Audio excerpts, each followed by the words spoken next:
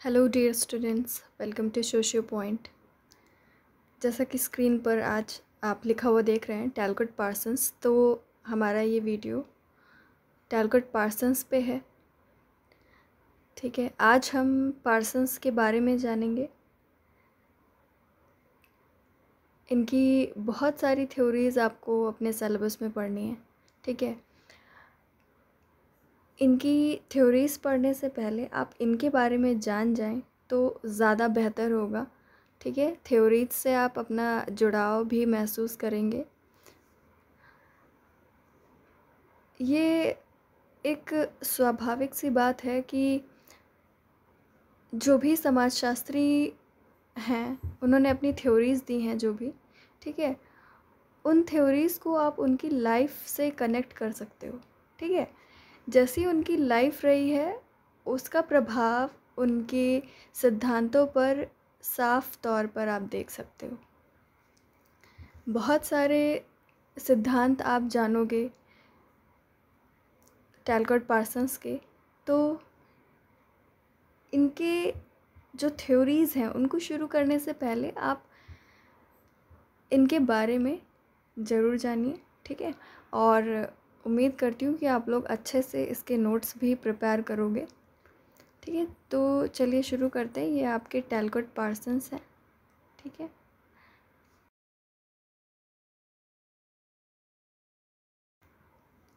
ये structural functionalist के तौर पर जाने जाते हैं, यानी कि संरचनात्मक प्रकार्यवादी। और ये बहुत ही फ़ेमस सोशोलॉजिस्ट थे अपने समय के।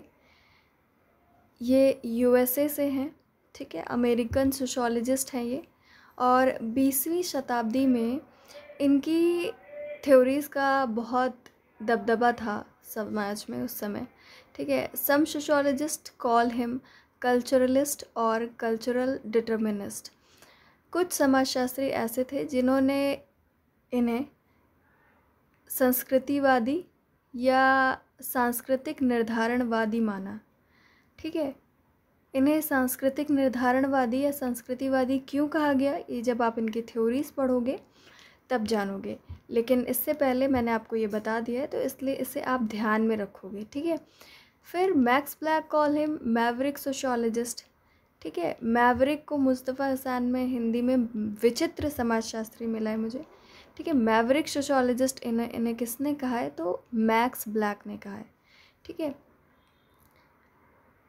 इसके अलावा, एल्विन वॉर्ड गोल्डनर ने इन्हें क्या कहा है?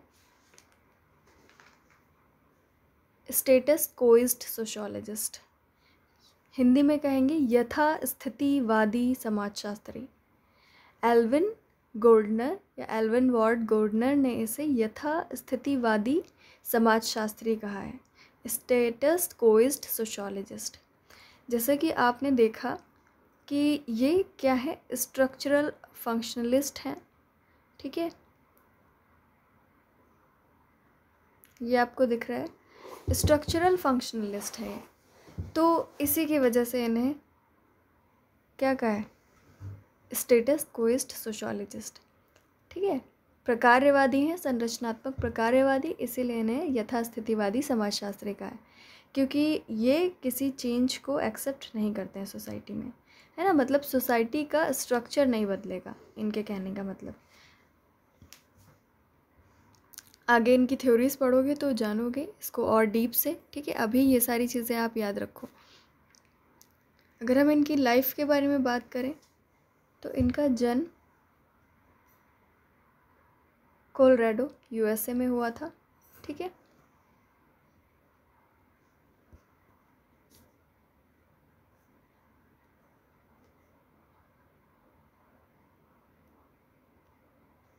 ठीक है।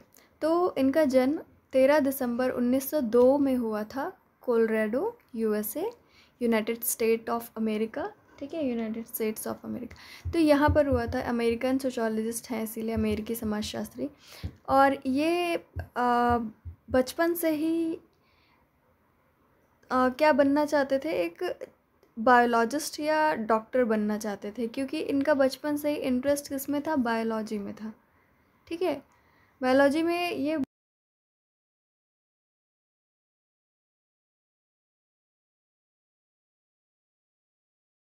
इनकी रुचि थी?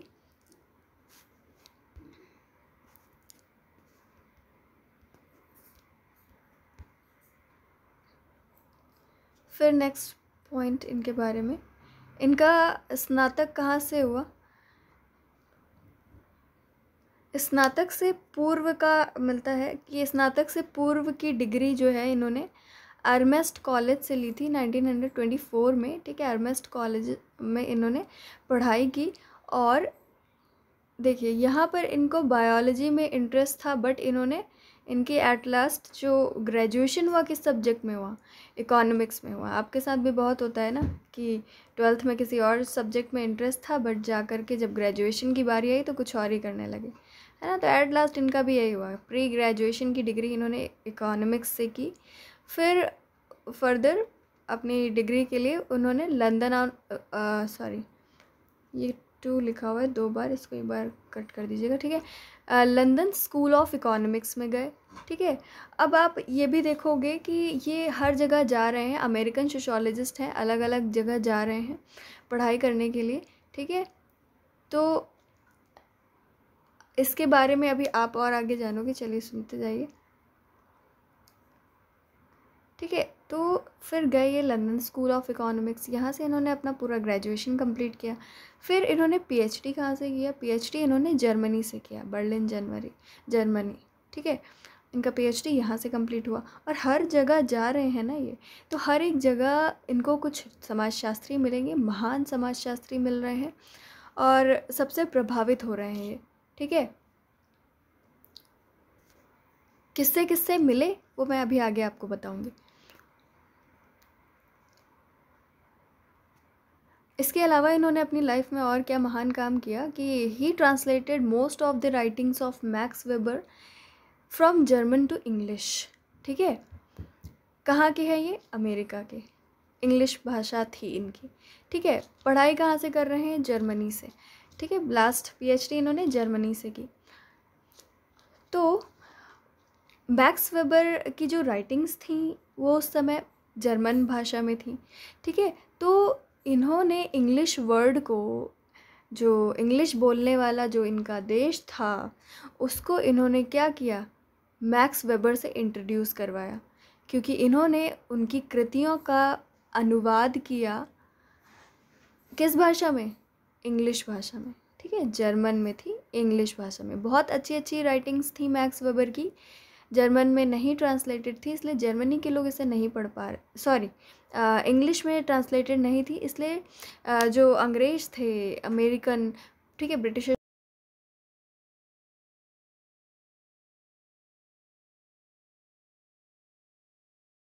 यूज़ करवाने का काम किया एक तरीके से। क्योंकि वो तो पहले पढ़ ही नहीं पा रहे थे ना इंग्लिश में। लिखा हुआ था सॉरी इंग्लिश में लिखा हुआ नहीं था सारा कुछ भी।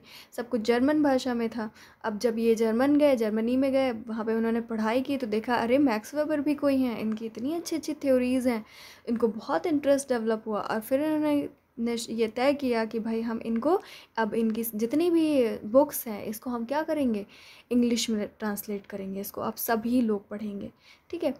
फिर इसके बाद इन, ये एक इनका सिलेक्शन कहाँ पे हुआ? फिर इन्होंने टीचिंग वर्क कहाँ किया? हॉवर्ड यूनिवर्सिटी में। ठीक है? नाइनटीन ट्वेंटी सेवन ये जो मैक्स वेबर हैं, इनसे, इनकी कृतियों से ये रूबरू कब हुए? अबाउट नाइनटीन ट्वेंटी फाइव ठीक है? अब हम जानेंगे कि ये इतनी सारी जगह पे घूम घूम करके पढ़ाई कर रहे हैं और इनको कहाँ पर कौन कौन मिला और क्या क्या चीज़ें चीज़ें इन्होंने जानी, प्रभावित हुए। ठीक है? तो उन सब के बारे में हम अभी आगे देखते हैं। तो मैंने एक हेडिंग बनाई है हिज इन्फ्लुएंसर्स कौन कौन है? देखते हैं। जब ये लंदन स्कूल ऑफ़ इकोनॉमिक्स में थे, तब ये किससे मिले? वहाँ पर? मॉरिस किन्सबर्ग से मिले, मेलनॉस्की से मिले, इवांस प्रिचार्ड, ठीक है? इस तरीके के समाजशास्त्रियों से मिले वो। मेलनॉस्की ने उस टाइम सोशोलॉजी में क्या किया? सबसे पहले सहभागी अवलोकन के द्वारा एक ट्राइब की स्टडी की। उनके बीच में रहा उन्होंने, मेलनॉस्की ने, ठीक है? पार्टिसिपेंट ऑब्जर्वेशन के थ्रू इन्होंने फ़र्स्ट टाइम स्टडी की, जो कि बहुत ही ज़्यादा फ़ेमस हुई, ठीक है? तो ये मेलनॉस्की से मिले, वहाँ पे इवांस प्रचार्ड भी हैं, ठीक है? ये सब एंथ्रोपोलॉजिस्ट की कैटेगरी में ज़्यादा आते हैं तो ठीक है? इनकी जो वर्क करने का जो मेथड होता है, वो उससे बहुत ज़्यादा प्रभावित हुए, ठीक है? इसके अलावा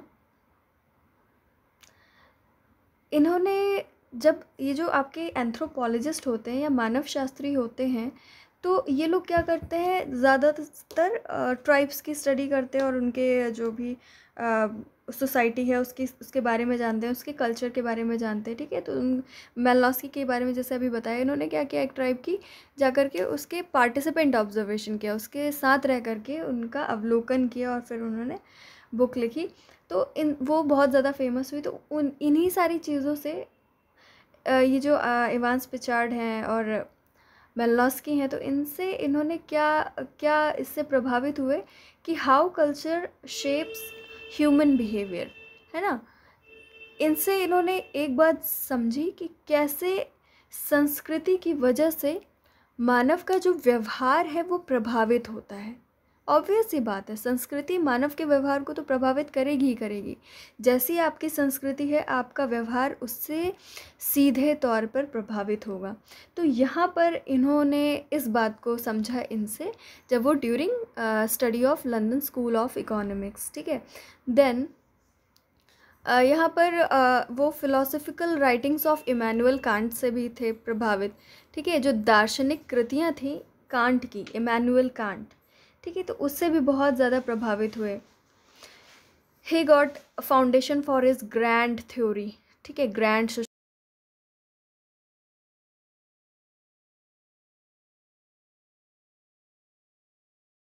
सकते हैं समाजशास्त्र में, ठीक है तो यहाँ पर इन्होंने कांट से ये चीज़ समझी।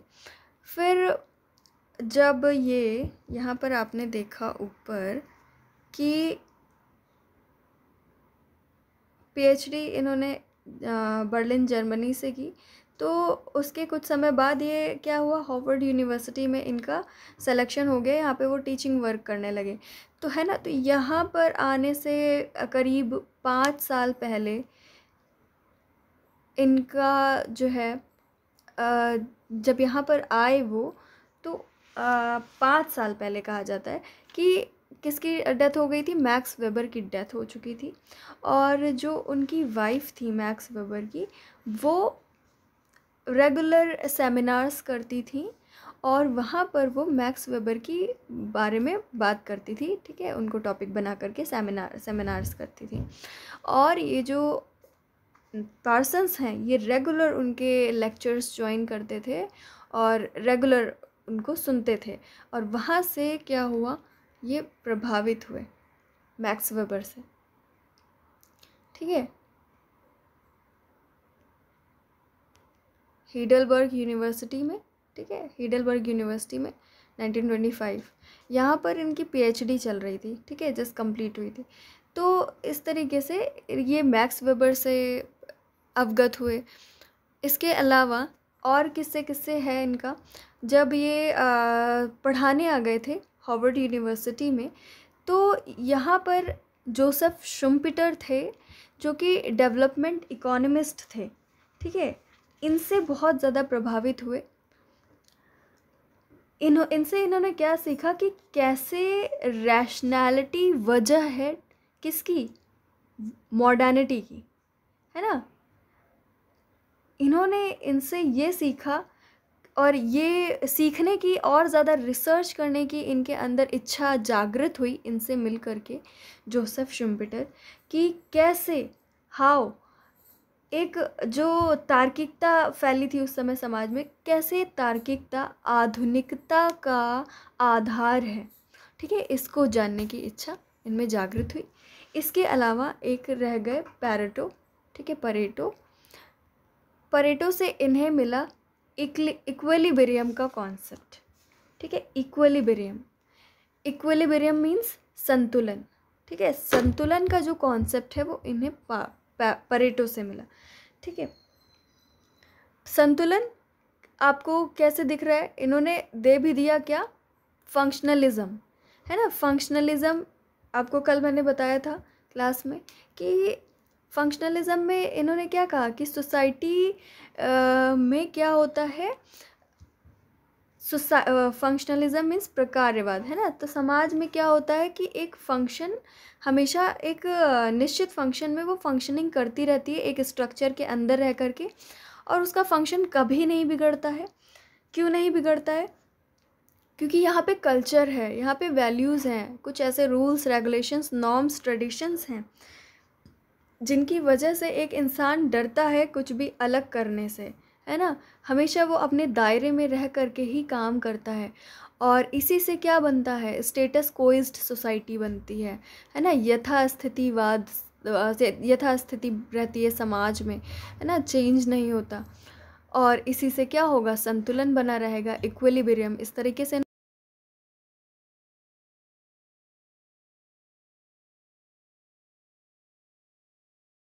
पैरेटो से ठीक है, इक्वलिब्रियम मीन्स संतुलन का जो सिद्धांत है, धारणा है, ये इन्होंने परेटो से ली ठीक है?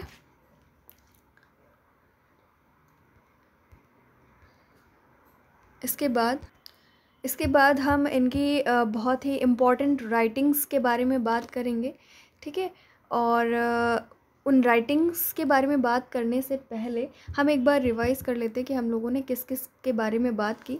ठीक है? हमने सबसे पहले बात की कि ये जो आपके टेलकुट पार्सन्स हैं, ये स्ट्रक्चरल फंक्शनलिस्ट हैं, हिंदी में कहते हैं संरचनात्मक प्रकार्यवादी और ये बीसवीं शताब्दी के बहुत ही महान समाजशास्त्री के रूप में माने जाते हैं जो कि अमेरिकन हैं। ठीक है? और इसके अलावा कुछ सोशोलॉजिस्ट जो हैं वो इन्हें कल्चरल डिटर्मिनिस्ट कहते हैं या कल्चरलिस्ट कहते हैं। क्यों कहते हैं? आप समझ गए, ठीक है? आगे अभी आपने सुनी बातें, उससे समझ गए आप कि इन्होंने, क्योंकि स्ट्रक्चरल फंक्शनलिज्म दिया और स्ट्रक्चरल फंक्शनलिज्म में इन्होंने बात की कि हमेशा सोसाइटी एक स्ट्रक्चर के अंदर रह करके फ़ंक्शन करती रहती है। मतलब एक स्ट्रक्चर मीन्स उसका एक निश्चित दायरा होता है और उस दायरे में रह करके ही काम करती है। जैसे कि आपने इक्वलिबेरियम वर्ड सुना कि वहाँ पर उसका हमेशा संतुलन बना रहता है। ठीक है? और ये जो इक्वलिबेरियम है किस लिए बना रहता है? क्योंकि सोसाइटी में कल्चर है और कल्चर के अंदर वैल्यूज़ ट्रेडिशंस नॉर्म्स है ना? परंपराएँ प्रथाएँ, ठीक है? ये सारी चीज़ें, मूल्य, ये सारी चीज़ें हैं तो ये सब कल्चर के अंदर आती हैं। और इस कल्चर की वजह से ही क्या है? सोसाइटी हमेशा स्टेटस कोइस्ट कह सकते हैं कि हमेशा एक इक्वलिबेरियम में रहती है, एक संतुलन उसके अंदर बना रहता है। तो देखा आपने कि कैसे इन्होंने कल्चर को फोकस किया तो इसीलिए इन्हें कल्चरल एक कल्चरल डिटर्मिनिस्ट भी कुछ सोशोलॉजिस्ट बोलते हैं।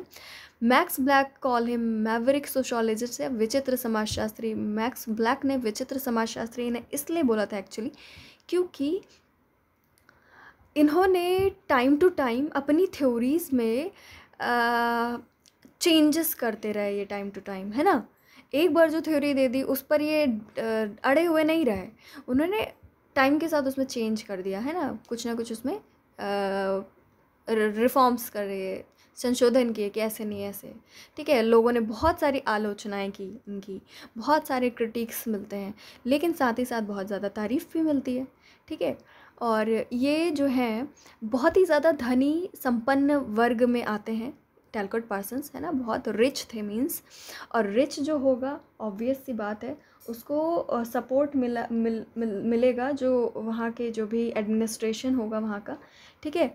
एडमिनिस्ट्रेशन जो होगा उसका सपोर्ट मिलेगा उसके उस उसके एक तरीके से आ, क्लास में आएँगे है ना? जो आप हायर क्लास होगा हायर क्लास में ये भी थे और एडमिनिस्ट्रेशन भी है तो उसका सपोर्ट इनको मिलता था है ना? और एडमिनिस्ट्रेशन क्या करता है कि आप कि जैसे कैसे सोसाइटी को चलाना है, ठीक है? और ये क्या कर रहे हैं? एक तरीके से उसको सपोर्ट कर रहे हैं, कह रहे हैं कि भाई चेंज तो हो ही नहीं सकता, है ना? चेंज को ये क्या कह रहे हैं? चेंज नहीं हो सकता। हमेशा सोसाइटी में इक्विलिब्रियम रहता है। जब तक कल्चर है, तब तक डर है, ठीक है? कल्चर यानी कि संस्कृति है, तब तक इंसान अलग करने से डरता है कि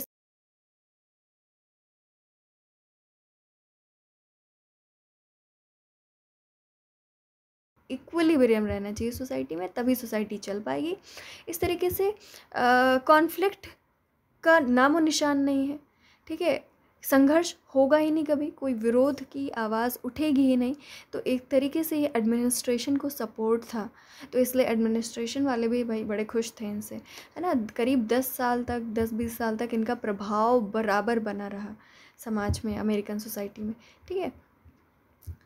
एल्वन वर्ल्ड गोर्डनर ने इन्हें क्रिटिसाइज़ करते हुए कहा है कि ये स्टेटस कोइस्ट सोशोलॉजिस्ट हैं। ये यथास्थितिवादी समाजशास्त्री हैं जो चेंज को एक्सेप्ट करना ही नहीं चाहते। ठीक है एल्विल गोल्डनर और इनका जन्म 1902 कोलोराडो यूएसए में हुआ और इंटरेस्टेड थे बायोलॉजी और फिलोसफी में। इनके घर का पारिवारिक माहौल ही कुछ ऐसा था। ठीक है, जिसकी वजह से इन्हें ऐसा इंटरेस्ट इनके अंदर पैदा हुआ और डॉक्टर और बायोलॉजिस्ट बनना चाहते थे बचपन में, ठीक है, लेकिन कुछ नहीं बन पाए दोनों में से। ग्रेजुएशन इनका एट लास्ट इकोनॉमिक्स में हुआ, ठीक है अर्मेस्ट कॉलेज से 1924 में और प्री ग्रेजुएशन डिग्री इन्होंने अर्मेस्ट कॉलेज से ली और लंदन स्कूल ऑफ़ इकोनॉमिक्स में ये फर्दर स्टडीज़ के लिए गए। फिर उनका पीएचडी जो हुआ, वो यूनिवर्सिटी ऑफ़ बर्लिन में हुआ, ठीक है। ठीक है तो ये बर्लिन में आए और यहीं पर इनकी जो है यहाँ पर क्या था? जर्मनी के कौन थे? Max Weber. तो मैक्स वेबर जो थे वो उनका प्रभाव बहुत ज़्यादा था उस समय, उनके समय में। बट जब ये आए वहाँ पर, तब उससे मैंने कहा, पाँच साल पहले, लगभग पाँच साल पहले मैक्स वेबर की डेथ हो चुकी थी।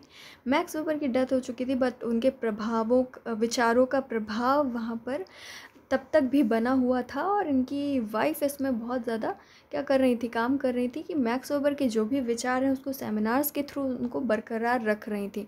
और इन्होंने क्या किया, उनके सेमिनार्स को रेगुलर अटेंड किया और उससे बहुत ज़्यादा प्रभावित हुए और पार्सन्स ने जो अपना जो भी थ्योरीज़ दी हैं, आप देखोगे तो आप जब मैक्स वेबर की थ्योरीज़ पढ़ोगे और पार्सन्स की थ्योरीज़ पढ़ोगे तो आपको लगेगा कि इन्होंने क्या किया है, अपनी पूरी थ्योरी भर में इन्होंने मैक्स वेबर को क्रिटिसाइज़ किया है।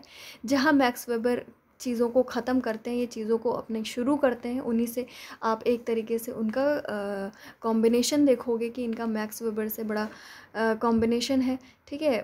इनकी थ्योरीज़ का, ठीक है?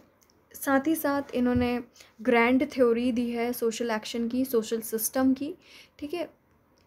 तो ये सारी चीज़ें अभी आप आगे पढ़ोगे, ये सारी चीज़ें आपको मालूम होनी चाहिए, ठीक है? वही सारी चीज़ें एवांस पिचर्ड के बारे में आपको बताया एवांस पिचर्ड मेलनॉस्की और ये सब क्या थे? एंथ्रोपोलॉजिस्ट थे, मानव शास्त्री थे जो बहुत ही ज़्यादा गहन अध्ययन करते थे मानव समाज का। बट ये सोशोलॉजी से अलग सब्जेक्ट है बट काफ़ी बहुत ज़्यादा मैच करता है सोशोलॉजी से। किसी ने इसे कहा है समाजशास्त्र और मानव शास्त्र को कि ये दोनों जुड़वा बहनें हैं। किसने कहा है ज़रा मुझे कमेंट में बताना? Who said sociology and anthropology is twin twin sisters ठीक है? तो London of School of Economics में ये इन लोगों से मिले और यहाँ पे इन्होंने देखा कि कैसे भाई कल्चर की स्टडी इन्होंने क्या किया? एडवांस प्रिचर्ड मलनॉस की ये सब इस पर वर्क कर रहे थे और देख रहे थे uh, काम कर रहे थे और सहभागी अवलोकन किया पार्टिसिपेंट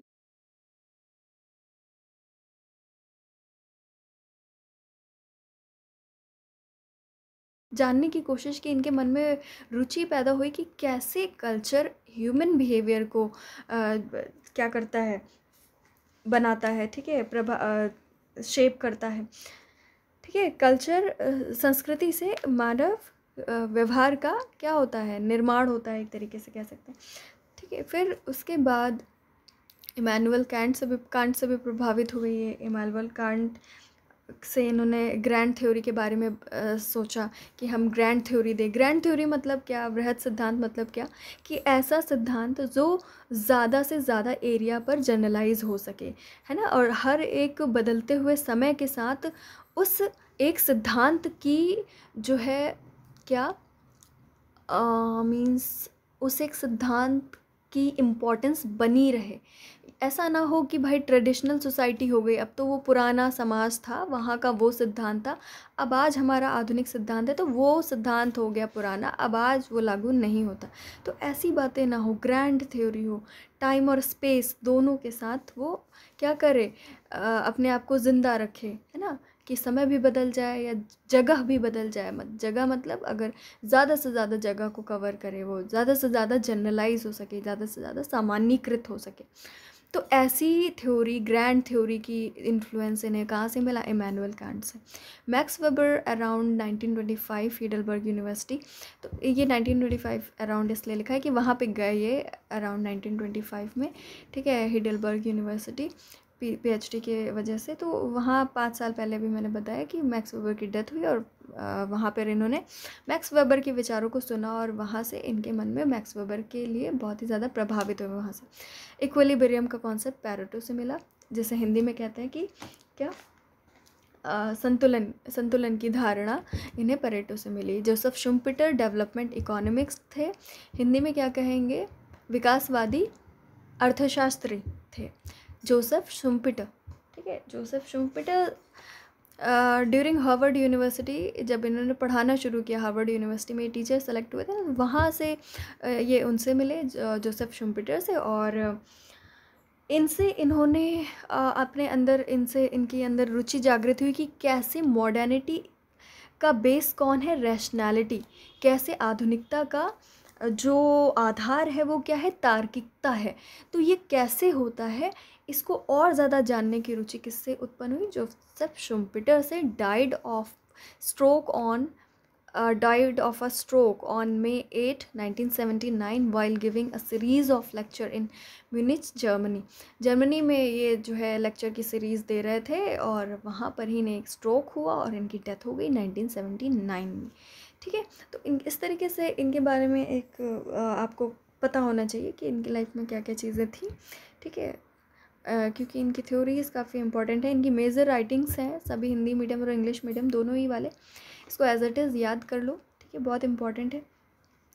सबसे इंपॉर्टेंट है, जैसे मैं टिक करूँगी, ठीक है? वो वो सबसे ज़्यादा इंपॉर्टेंट होगा। आई होप कि ज़्यादा छोटा नहीं हुआ होगा। जो ज़्यादा एग्ज़ाम में पूछा जाता है वो मैं आपको टिक करके बताती हूँ। सबसे पहला है the structure of social action in 1937 very important ठीक है? The structure of social system in 1937 next है द सोशल सिस्टम 1951 ठीक है? The social system 1951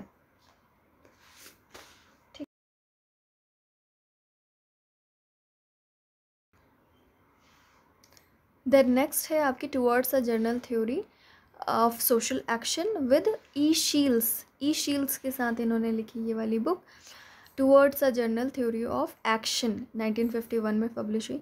the next book है family socialization and interaction process with Bales Bales के साथ इन्होंने लिखी है 1953 में। फिर एसेज इन सोशोलॉजिकल थ्योरी 1964 ये टिक किया मैंने, ये तीन टिक किए मैंने। तीन बुक इंपॉर्टेंट अभी तक। Essays in sociological theory 1964 then next है सोसाइटीज़ एवोल्यूशनरी कॉम्परेटिव पर्सपेक्टिव्स 1966 में पब्लिश हुई। Politics and social structure 1969 the social the system of modern societies 1971 the system of modern societies 1971 में पब्लिश हुई। तो इस तरीके से इनकी इतनी सारी, क्या है बुक्स हैं। अब इनकी हम एक्शन थ्योरी कल से शुरू करेंगे, ठीक है? नेक्स्ट वीडियो में आपको इनकी एक्शन थ्योरी मिल जाएगी और रीडिंग करते रहिए नोट्स बनाते रहिए ओके थैंक यू बच्चों टेक केयर